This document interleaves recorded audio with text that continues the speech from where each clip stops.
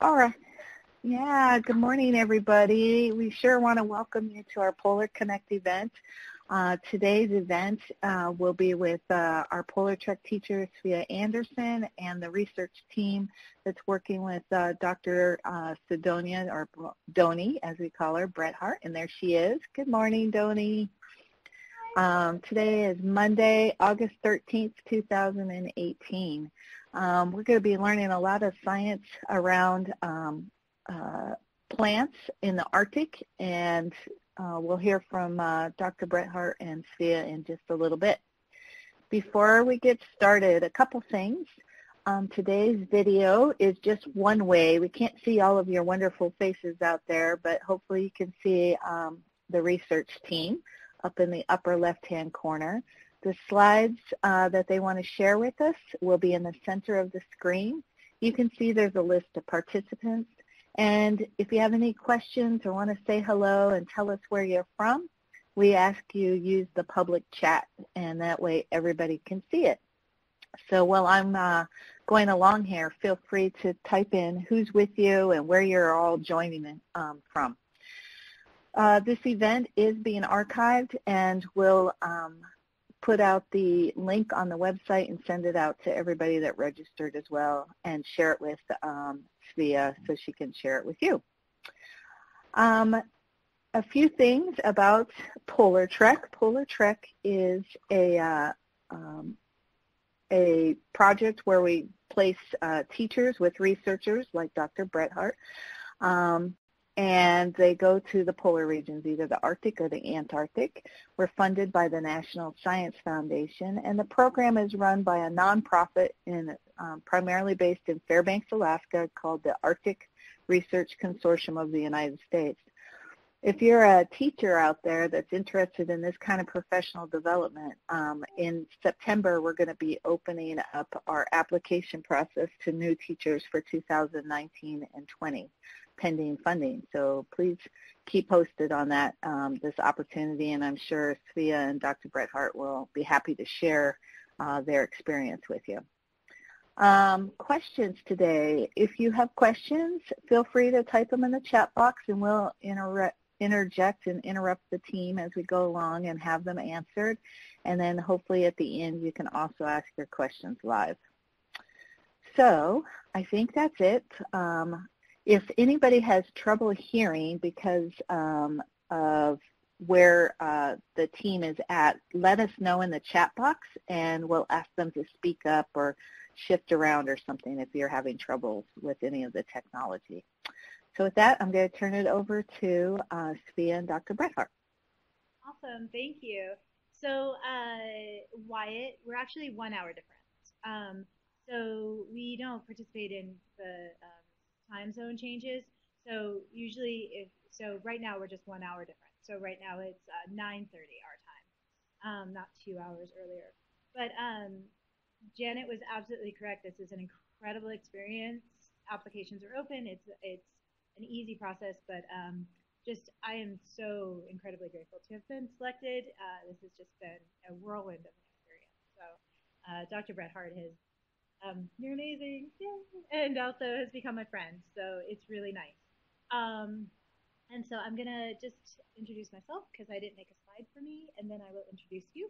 Uh, so I'm Svea Anderson. I teach sixth grade in Tucson, Arizona. Um, also the district STEM coordinator. Uh, and I have been in Alaska since July 6th, which is pretty crazy. I've missed the entire like Tucson summer, which I think it might have been. Could be a good thing. Could be a good thing. It's hot there, right? I'm cold today. It's cold. Um, and uh, and this, I've always kind of been interested in uh, science and action and in the field. Um, and this has just been an awesome opportunity to be part of the whole process of going out. And we'll talk about, about Dr. Bret Hart's um, project, but like really being able to experience it firsthand and, and knowing now really to reiterate what's, what I can do back in my classroom. So I have lots of ideas. I'm bringing home some mosses, so we're going to look for tardigrades uh, when I come back, some like water bears. Hopefully we find some. But um, yeah, it's just been an awesome experience. And this is my amazing researcher, Dr. Brett Hart. And so she's awesome. And so I'll let her introduce herself as well. You have to Um, just a quick just a quick interruption, ladies. You're going to have to use your your loud voices and um, talk directly into the computer because uh, a couple of people are having a hard time hearing you. Okay. Oh, Thank sorry. you. Okay, so say if it's not loud enough. Um, so my name's Donie Bret-Harte. I'm a faculty member at the University of Alaska Fairbanks. And I've worked up at the Toolik Field Station in northern Alaska uh, for about 25 years now, which is kind of amazing. Um, so I've been working in the Arctic for a long time. But I actually grew up in Tucson, so shout out to all you folks in Tucson. I lived there till I was 11. Um, and actually, yeah, no, I guess I was, uh, 14, 13 actually. And then I moved to Oregon and then after that, I went to school in Oregon and in California. Um, and then I did a, some postdocs um, in California and on the East Coast. And I got really interested in the Arctic actually as a postdoc. So I didn't start as a graduate student in Arctic studies, but I moved into it after that.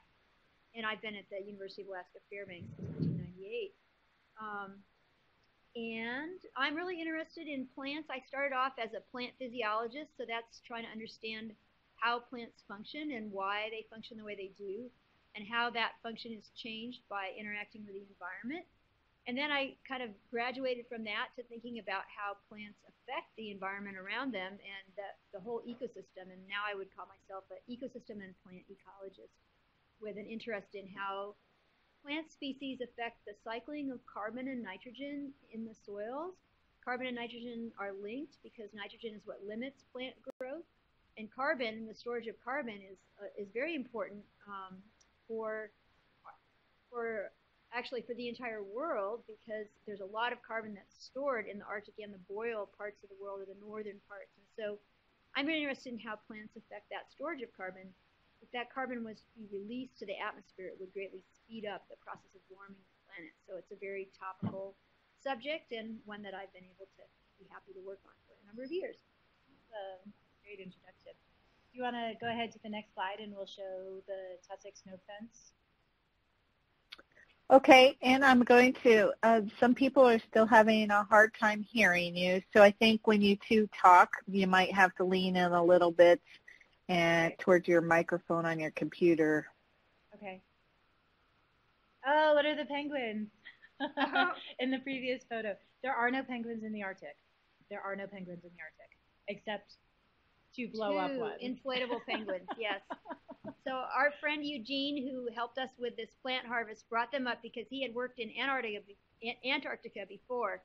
And actually, that picture, the, they're serving as emotional support penguins because I sprained my ankle. So they're keeping me company. Yeah. but really, there are no penguins in the Arctic. that was like my mantra before I left. There's no penguins. There's polar bears. We haven't seen any though. No, no, no polar bears. No polar bears. Only on the coast. Only on the coast.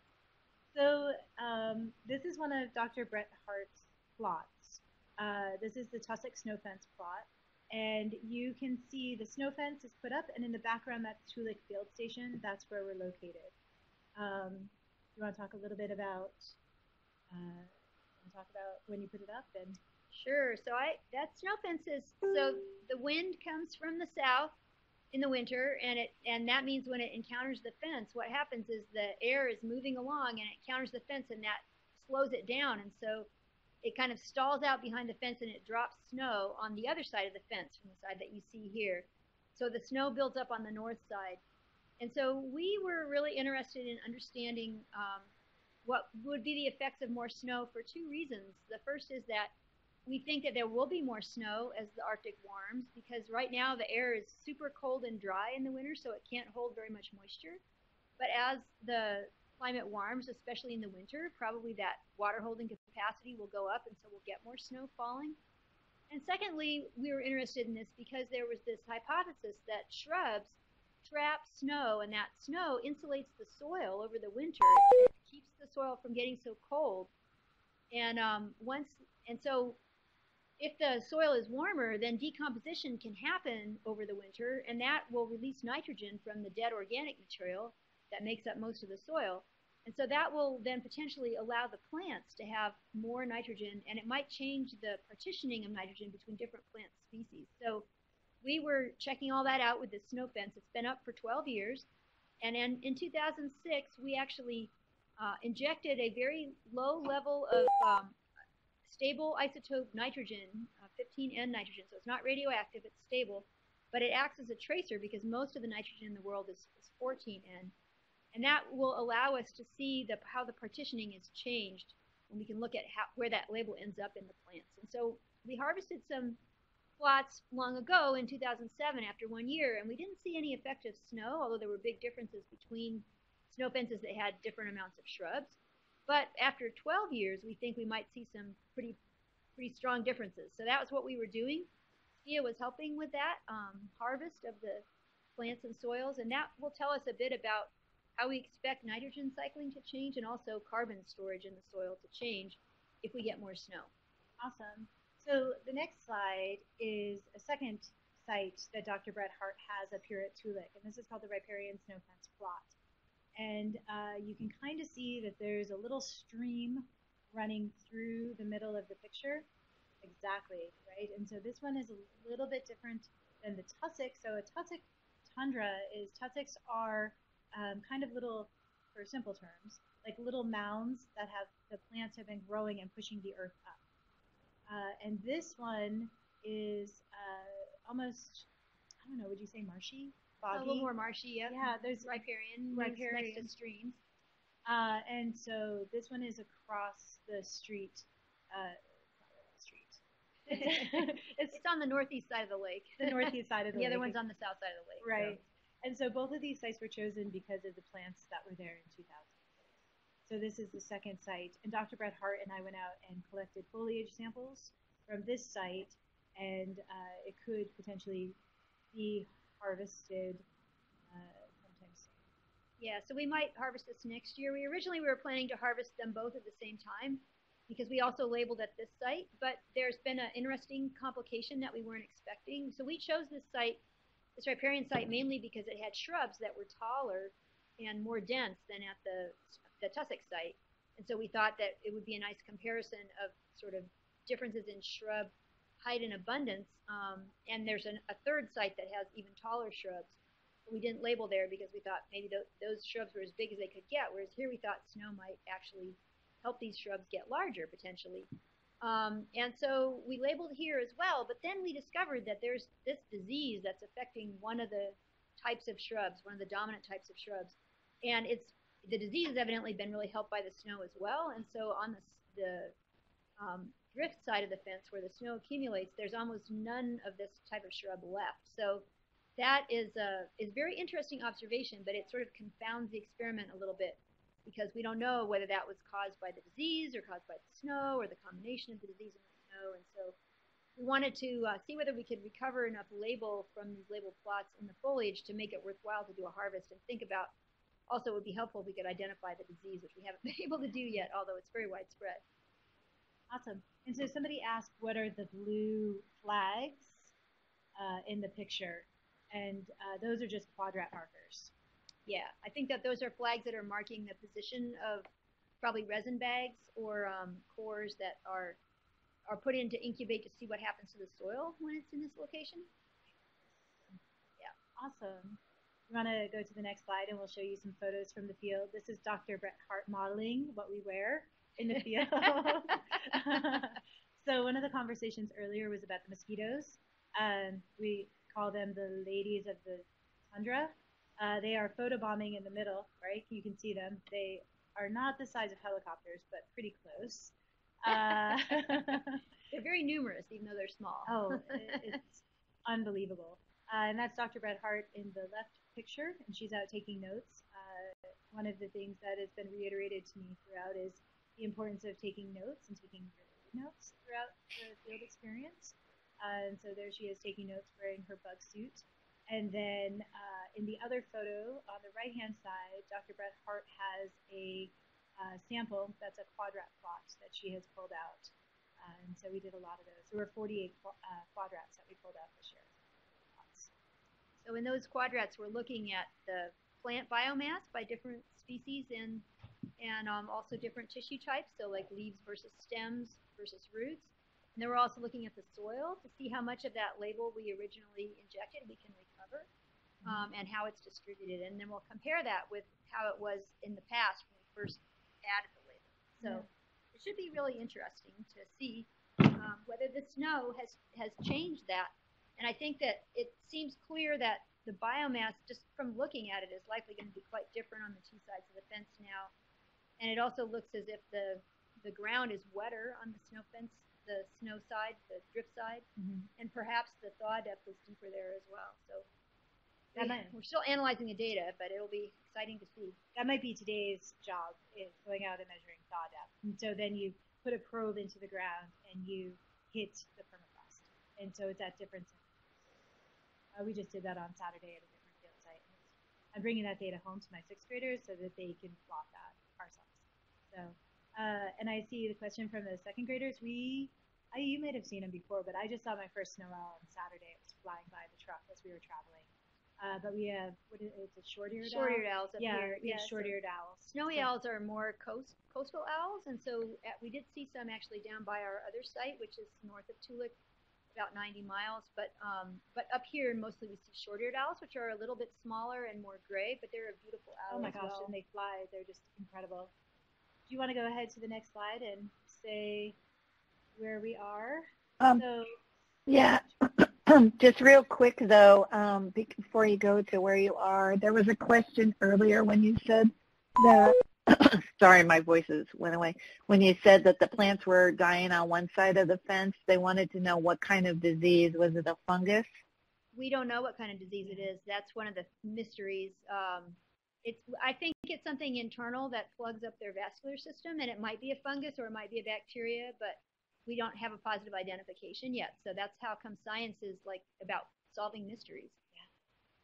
uh, We're gonna try Okay, to and- get pathologists to look into it. Go ahead.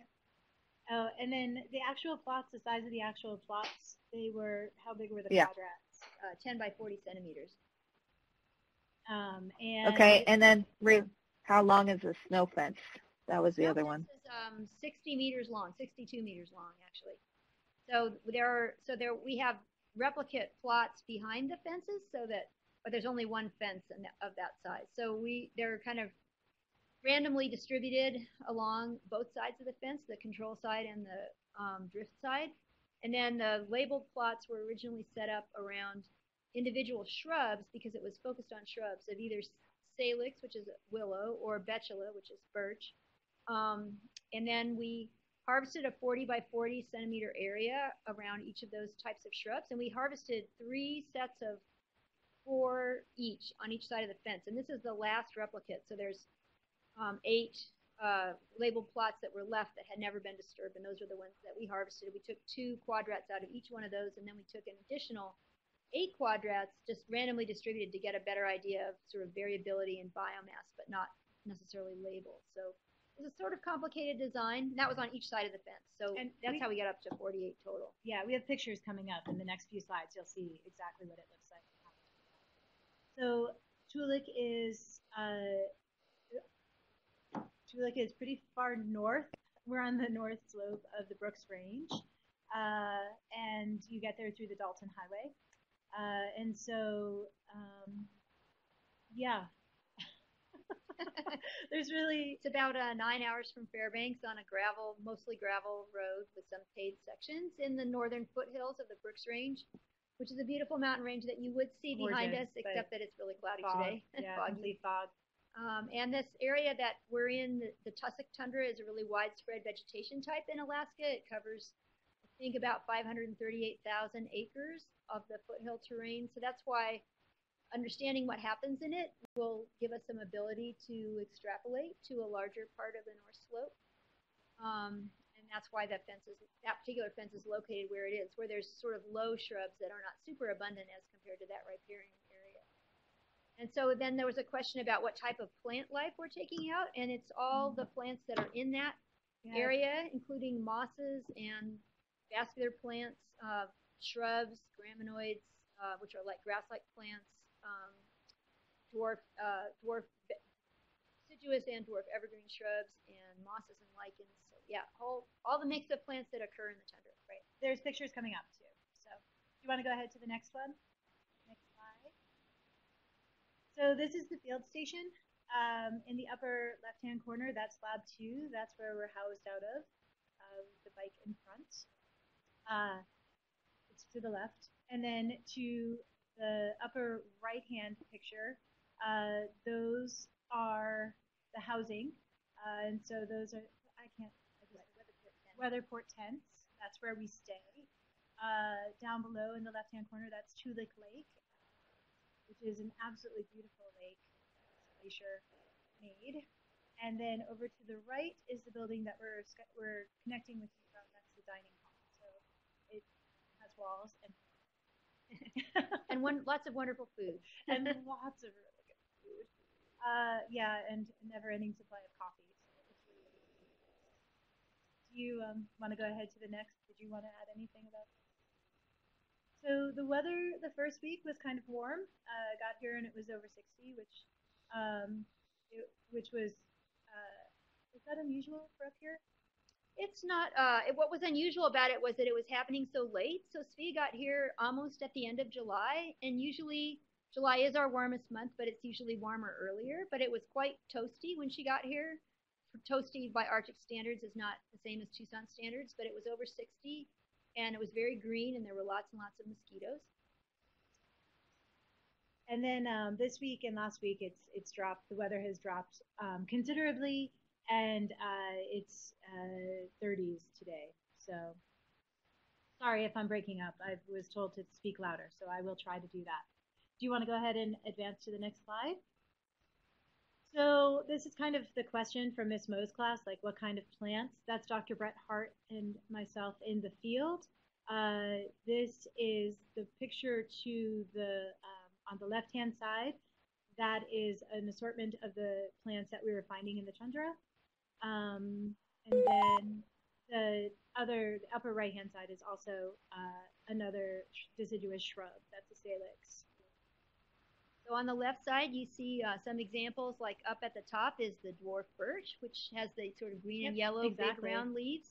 It's just like a birch tree, but it's sort of small and, and horizontal. And then below that, with the red and green, is the Vaccinium uliginosum, which is the blueberry, northern blueberry. But this red color you see is sort of an interesting uh, phenomenon that occurs around here fairly commonly, although not every plant. So that's actually caused by a fungus that is causing the plant leaves to puff up and turn red and look like a flower in hopes of attracting pollinators. And then the pollinators, when they come, they're fooled by that and they actually disperse the fungal spores instead. So the fungus has very cleverly um, is, has developed a mimicry of the whole floral pollination system and is using it to its own advantage. Um, so that's a an, just an example of sort of a fun, like weird little thing that can happen in the tundra. There's several of those fungi that do that. There's one that affects the little cranberry, the, which is Vaccinium vitis-idaea. It's in the same family, so maybe it's equally susceptible to this. Um, and yeah, and so then down below that you can kind of see some mosses and lichens and some plant litter, and there's some gra- graminoids, those grass-like things that are a little bit to the left of the Yep, yeah, exactly right there. Yep. So there's so all the plants. There's like a whole diversity of plants, but they're just all really small, and that's that makes you feel like you can understand what they're going to do, and then of course you find out they're more complicated than you thought. And yeah, but um, that's my favorite plant, by the way, the bog blueberry. It's so adorable. The leaves are so cute. And the I- berries are so Oh, tasty. so good. And I know that's Janet's favorite plant too. Do you want to go ahead and, and go to the next? Oh, and there was a question about whether they still produce flowers. No, unfortunately, that fungus kills off that part of the plant. So the rest of the plant will survive, but the part that turns red is toast after today. So our fauna are mosquitoes. That is what we've seen in mass. Uh, that is my head covered in mosquitoes, which is why we wear bug suits. Um, but uh, thanks, Miss Mo, for joining us. Have a great day. I know. So if Miss Thompson's class is leaving, uh, shout out to my girl, Lila. Hi. Hi, Lila. So, anyways, Thanks for joining us. Um, so yeah, so we've seen lots of mosquitoes. Um, oh, Lila says hi. Do you uh, want to go ahead to the next screen? We'll just kind of. We saw other fauna too, but but uh, the mosquitoes were definitely the most common. Most common. So Dr. Bret-Harte kind of has already gone over what we're doing. She injected the Tussock snow fence with 15N in 2006. uh, 2018, this summer, we harvested the 48 plots, the quadrats. And then um, the pluck includes uh, looking at the quadrats and then separating the plants by species and then by individual parts. And so I think we'll go to the next couple slides so that you can see pictures of what we're talking about. So if you want to go to the next one, unless you wanted to add anything. Okay. So this is the harvesting of the quadrats. Nope. Yep, perfect. So uh, this is me in the field. In the upper left-hand corner, I'm holding a, um, a large knife. Large knife. Dangerous, Ms. Anderson. yeah, I was living on the edge. Uh, and so we go out, we have these flags that mark the edges of the quadrat. Uh, the next picture is to the right of that is me actually cutting, which the bottom got cut off, unfortunately. But you take the knife and you actually just slice into the earth. Um, the lower left-hand corner are the two quadrats that have been removed. So we're just taking two small slices of the quadrat. The middle part is actually left for uh, a uh, researcher who's from NAU, uh, who is part of this grant project, um, and her team was looking at the soils and roots. So we intentionally left that middle piece for her team. And then on the lower right-hand corner, um, even though it looks like I have elephantitis in my arm, I do not. It's the wind whipping. Uh, we carry the um, we carry the earth back in bags, uh, very carefully labeled. Uh, we do not separate anything. We change out our gloves in between each plot um, to make sure that nothing gets contaminated. And then we have this long walk on the boardwalk back to Toolik uh, field station. It's not really that long, but seems long when it, you're carrying heavy bags. Yeah, and when you're wearing like 20 pounds of gear. so um, if you want to go uh, to the next slide, thanks, Ms. Thompson, for joining us. So this is inside the lab. This was our pluck this year. And so you can see in the left-hand picture, there's a bag, and that's full of earth, and we earth and plants. Earth and plants, uh, and we take the we take them out, and that's in the upper right-hand corner. That's the initial beginning of it, and very very carefully uh, with tweezers, we go through every piece of it to separate out roots and plants. Uh, we separate them by plant species. We uh, separate the roots. I'm not, I was Sorry. never very good at roots. not the roots, the rhizomes. Rhizomes. The underground stems, so the the top of the plant, which is the leaves and um, the new things that grew, and then also the below ground stems. And then we get the roots actually from a separate um, set of cores that we take because there's just so much earth in that 10 by 40 centimeter that getting all the roots would be impossible. So we're sort of subsampling the roots. We get the roots by depth in their top upper five centimeters of the soil, and in an organic layer, and then below that in the mineral layer separately so we can see how root density changes with depth and how much carbon is in the roots, carbon and nitrogen is in the roots and in the rest of the soil, and then in each of the different plant parts. So in the lower right-hand corner, you'll see that that is divided up into the different parts of that plant. And so there's the blade, there's a sheath, there's the rhizome. So every part is saved and labeled and um, weighed. Dried in weighing, an oven. And dried in an oven, and then we weigh it. We've been weighing this week as well. And then they'll go back down to uh, University of Fairbanks where they're put in a mass spectrom- spectrometer uh, where the rest well, of the research. Yeah. yeah, first they'll get ground up into a fine powder, and then they'll get rolled into little tin capsules, and then the tin capsules will get combusted in the mass spectrometer, and the ratio of the 15N to the 14N, the 13C to the 12C will get and that gives us percentage of CNN and also the amount of label. So the work that we did this summer is not done by any no, stretch no, of the imagination. Just the beginning. Just the beginning. so Dr. Bret-Harte has a long year ahead. Yes, I do. so, and then I think the last slide is our last slide. Um, there's two more. Okay, yeah. So there were 14 volunteers with us this year, and there's Dr. Bret Hart and I smiling because uh, I think we were almost. So we're having so much fun. we did long days. Uh, they we started the pluck around uh, nine and ended at dinner time, which was six. Um, if not after dinner till a couple nights we worked till ten. Um, but you can't uh, leave the plants out once they've been opened because they'll dry out and it's harder to identify. Um, what's yeah, so we yeah, so, here, so I, I was going to say related related to your questions earlier, how much does uh, it take for you to sort the uh, pluck one of your bags? Like how long does that take? And then uh, what is the highest number of plants that you found in one bag? Um, so we it takes it sort of depends on the people that are involved, but we were using lots of volunteers and and you know it takes a little while to get up to speed on how to do it. So we would do like about eight of those per day uh, with 14 people. So you know we would work in teams together so that you're not so overwhelmed by having a, a giant one by yourself, right. and that would take. Uh, so it was like one in like less than less than one per person per day, like yeah. three quarters of one per person per day.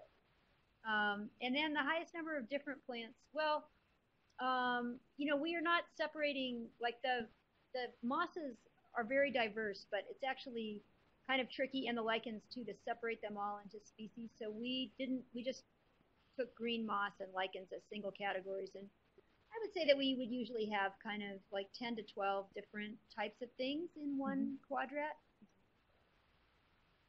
So can anyone volunteer to help you with the plugs, Dr. Anyone can volunteer, but I'll will interview them and make sure that they. I feel like they can have good enough attention to detail to do this. And uh, yeah, you need a lot of attention to detail. You do need attention to detail. So yeah. Yeah. But yeah, absolutely. Contact me if you're interested. We don't do this every year, but I think we'll be doing one next year. So it's a possibility. Mm-hmm. I may be back. that's right. That's right. She's good at this now. I can identify my plan. So uh, I think we have one more slide, or is that the end? Um, that was the end. Um, so I think at this time, if people have questions, we can uh, go to those. So let's see if anybody wants to ask questions. So if you if you want to ask your question live, you're welcome to do so. We just got to um, make sure that your mic is open or type your questions in there. So while we're waiting for questions, uh, Donie and Svea, um, why don't you tell us what's next? What's happening next with you? So we are um, wrapping up things before the winter. Um, so we're measuring thaw depth, and we're going to put out little temperature loggers um, to measure to the temperature over the winter. Um, actually, at our new snow fence site, so we're setting up some new snow fences in a, a different location that has very large alders. Alders are a species that has a lot of potential to actually change nitrogen cycling on the North Slope because they fix nitrogen in, co in combination with their microbial partners. And they don't occur at Toolik because it's too cold and high elevation for them here, but there's some that are farther north. So we're setting up, we set up some snow fences there, and we're going to be measuring temperature, and we're going to collect information on thaw depth, and we've got to finish weighing all the stuff, and then we're going to be heading out for back to Fairbanks because the academic term's already starting. Right, right. so I see Zane wants to know what other wildlife we've seen um, here at Toolik. Uh, or, well, I'll just talk about in general. Um, yeah. So we've seen, uh, Dr. Hart, and I have seen lots of evidence of bear. Uh, yesterday there was a bear here at Toolik. Uh, neither of us saw it though, which is pretty good because it was on the hike that Dr. Bret-Harte was on. And uh, yeah, so there was I'm a happy big, to see them from a distance. yeah, so there was a grizzly bear. Uh, I saw, uh, we've seen muskox. Yesterday I saw the largest herd I've ever seen. It was 25 to 30 muskox. Uh, lots of caribou. We've had caribou in camp. We have a couple um, camp foxes. They're adorable. They eat uh, the ground squirrels. Uh, we call them tundra burritos because they're a meal on the go. Uh, um, what else have we seen? Uh, I've seen a lot of animals since I've been in Alaska. I've seen whales and puffins and seals and otters and moose, lots of moose. Um, but here in Toolik, uh, mosquitoes. Yeah, a lot of mosquitoes. So and the, lots of there's lots of ground squirrels around lots camp too, and, and and some voles, so little animals, um, small mammals, and lots of birds too uh, the owls, but of course lots of other birds. There's the loons, which live on oh, the yeah. lake, mm-hmm. beautiful large loons, and and actually just yesterday there was an exciting encounter where our loon, the yellow-billed loon, which is the biggest loon, was attacking a red-throated loon that had had the misfortune to land and think this might be a nice lake for it, and our loon was having none of that. Oh so no! It drove that loon away. They're very territorial. very territorial. So yeah. So uh, Arctic foxes are here. Uh, the camp foxes that we have are red, red foxes. foxes. Yeah, Arctic fossils are closer to the coast. Yep. Um, and Marina wants to know if I would do it again. Absolutely. It was amazing. Uh, so hopefully I this is not my only time at Toolik. Yeah, and some, So- someone asked whether rising temperatures will affect the sequestration of carbon, and the answer is yes. That's a big, a big issue because the northern parts of the world right now, the boreal forest, the, the places with, with permafrost soils, have about three times the carbon that's in the atmosphere. So if all that was to go into the atmosphere, then the CO2 concentration would rise from 410, which it is right now, to like 1200, which is just a crazy hot amount. It probably won't all go into the atmosphere, but we would like to keep as much of it in the ground as possible. And so we're interested in understanding what controls, what keeps that carbon there. And yeah, and it, and obviously, um, it would be probably the best for the world in terms of adaptation if that change was to happen more slowly rather than really fast. Uh, Ms. Ingerson's class wants to know about daylight. Um, yes. It's very different. It's very different. Um, it has. I haven't. I kind of miss darkness. It doesn't get dark here. It's eerie. So um, you can go out at 10 o'clock, 11 o'clock at night, and it's still very light out. Uh, there is sunset at about 11:30, but the sun never completely goes past the horizon. Uh, so there's always a kind of a. It's kind of like a twilight. Yeah. So it's Well, and we're heading into darkness, so just this, so the poles of the world have 24 hours of light in the summer and then 24 hours of darkness in the winter. So Right. on the equinox, which is September 2nd or something, it'll be the same amount of light here as everywhere else in the world, including Tucson. But then it will plunge rapidly into very dark here, where Tucson will stay much more light. And in Fairbanks, where we are south of the Arctic Circle, it doesn't get completely dark, but we only have about maybe three and a half hours of daylight on the darkest day of the year, um, you know, in December. And um, in Toolik, at Toolik, it'll be like just twilight at that time. You won't, it won't be any actual daylight because it's north of the Arctic Circle. But then in the summer, you know, in the on June 21st, when the, at the summer equinox, the sun doesn't even go down here. It just goes around in a big circle. in the sky. So, uh, oh, is that Tricky T? Tricky T wants to know what time work starts. It starts at 9. That's right. because breakfast is from 7:30 to 8:30. and you got to go to breakfast. And you gotta go to You got to breakfast. go to breakfast. you have to get your coffee. Um, in the morning. Yeah, there was a question from Lauren. Uh, Svea wanted, or Lauren wants to know, what was the most interesting thing you've learned or experienced while in Toolik so far? Interesting. I know. I asked. I've gotten asked that question, and I don't know how to answer it.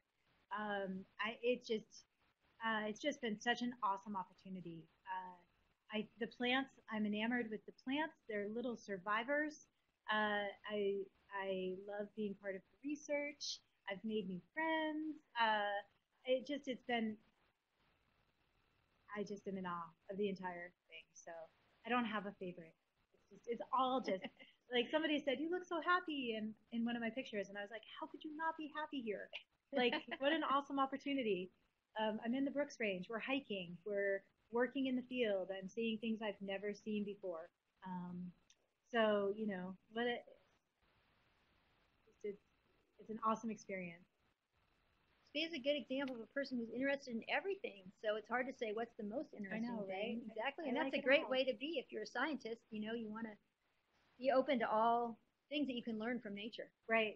Uh, Daniel, the tents do not have insulation. Um, they're thicker than like a regular tent, but it's I'm cold. Yeah, they, they, they have an insulated blanket, but it there's no source of heat other than the little space heaters, and the insulation isn't good enough. It's not like a wall. So yeah, they're a little on the cool side for sure. And by cool, she means cold. you want a nice thick sleeping bag. yeah, I have a I have a minus 15 bag, and it makes me happy. So thank you, Mr. Screama, for coming. And uh, yeah, Um, let me see. There was a there was a question earlier. Um, let's see. Nathan would like to know in which setting you saw the most wildlife. You mean um, different numbers of different types of wildlife, or the most individuals of wildlife? Ooh, that's a good question. Clarifying, clarify that, Nathan. He's he's one of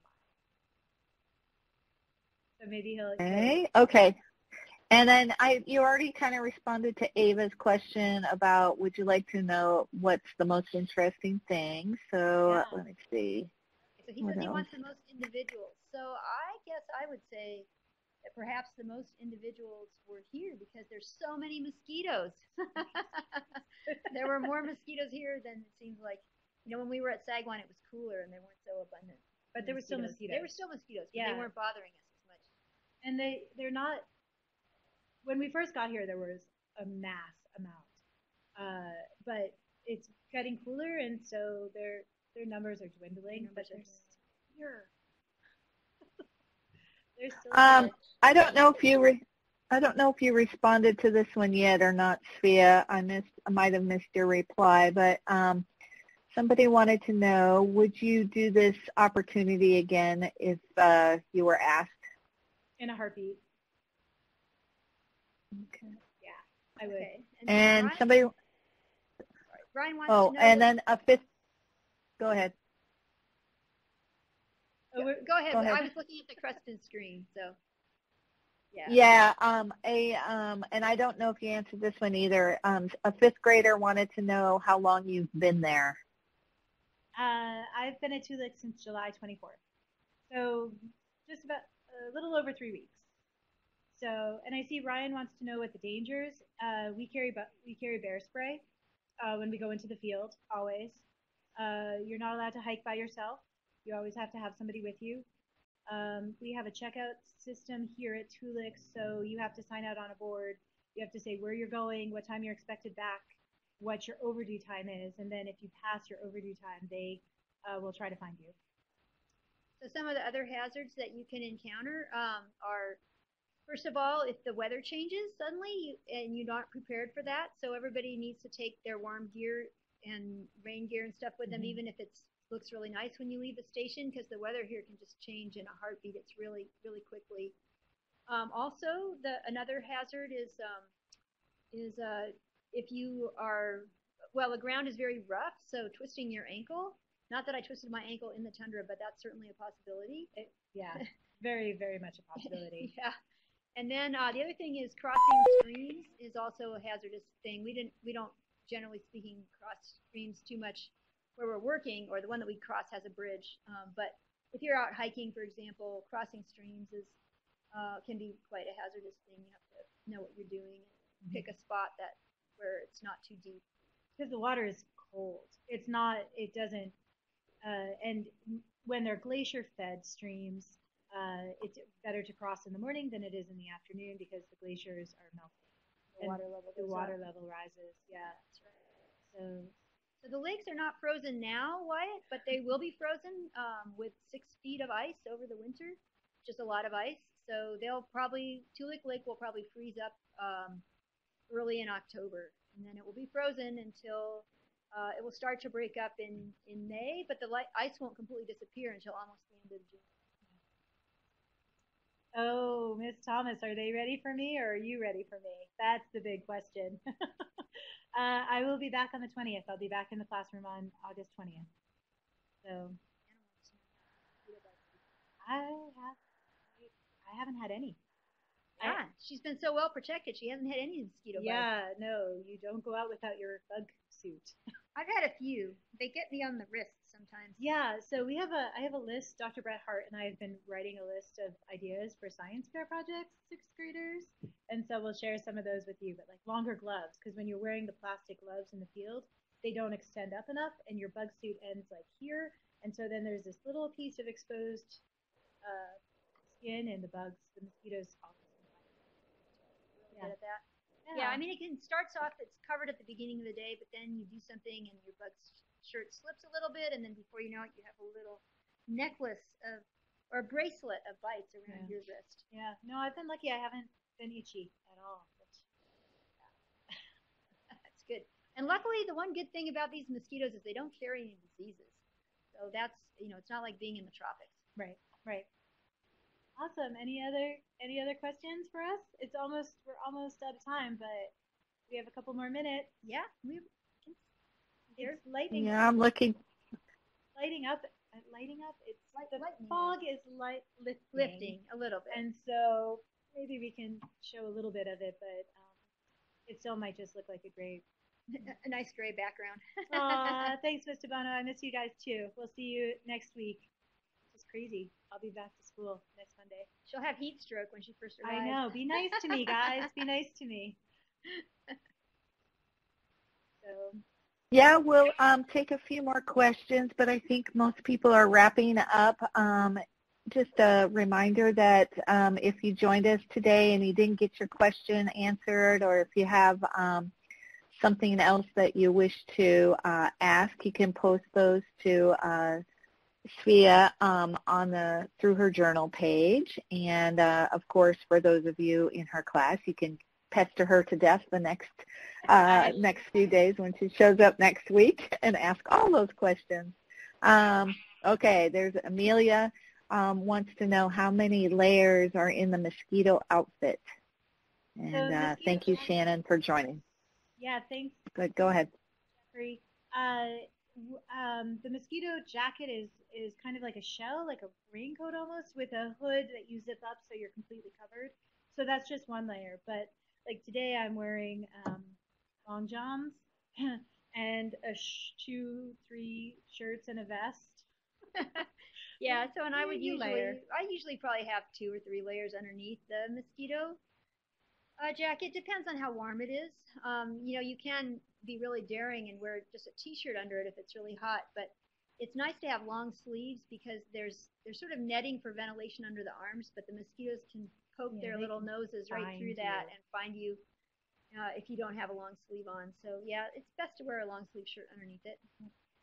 So, and then when it rains, you put your rain gear on top of the gear. Um, Yeah. and then you wear pants. Like I have pants I wear in the field. I have overalls uh, that are a rain material, that are a thick rain material. We wear uh, extra tough boots, uh, which are specific boots uh, for rain Rubber and tromping through rubber boots. Um, yeah, it's 20. I really think it's 20 here. Yeah, likely. Especially, Sophia's gonna be so strong when she goes back. Yeah. It's amazing. And it's 89 degrees. Yeah, that'll be a shocker. Well, we're going to um, wrap this up, and I wanted to thank both of you for uh, joining today and for all the participants out there in the classes. Um, it's hard to believe that school actually started, um, but it has, and it's um, great that so many people were able to join you. So um, we will stop the recording, and the archive will be available in the next couple of days for those of you that joined us. And uh, we want to wish Donie and uh, Svea a good rest of your season and safe travels. Thank All right, you. thank you. Bye, Bye. everyone.